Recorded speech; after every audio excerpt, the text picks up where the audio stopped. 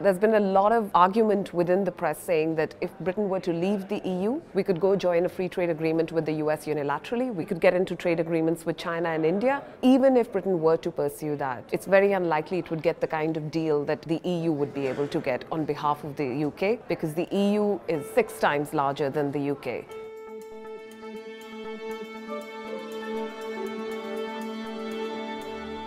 I'm talking about Brexit and how that might affect the UK economy in migration, investment, and future trade policy of the UK.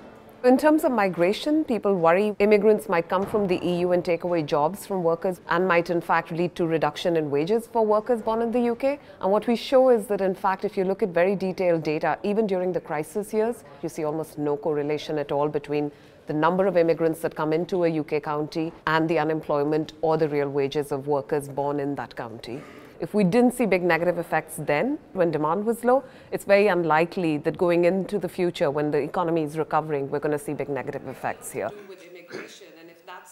The second area is investment. Part of the single market is the fact that EU firms can go anywhere in any member country of the EU and raise money. They can invest anywhere and they also tend to invest a lot in the UK. UK is one of the most attractive destinations in the world for foreign direct investment. And going forward, if Britain were to exit the EU, we expect that foreign direct investment coming into the UK is going to fall by a fifth. For every five pounds that came into the country previously, you're losing one pound just by exiting the EU even if you were to join the European Free Trade Agreement, that number is not going to recover. And what we think that would translate into is a drop in household incomes of about 400 pounds per household per year.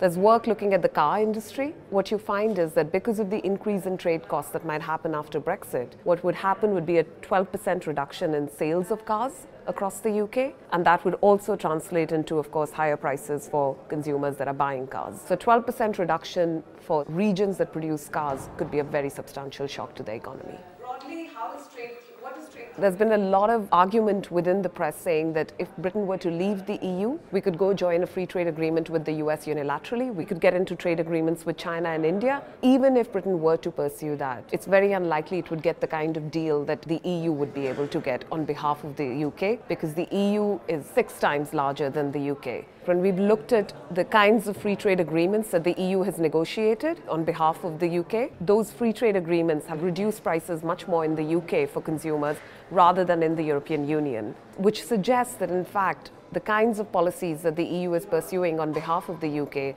are in line with UK's interests.